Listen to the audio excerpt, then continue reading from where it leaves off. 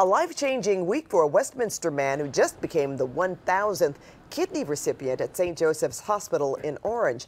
Jack Nguyen has been on dialysis more than a year. There are 22,000 people in California waiting on an organ transplant. April is National Donate Life Month, and hospital leaders hope Nguyen's story encourages others to become donors.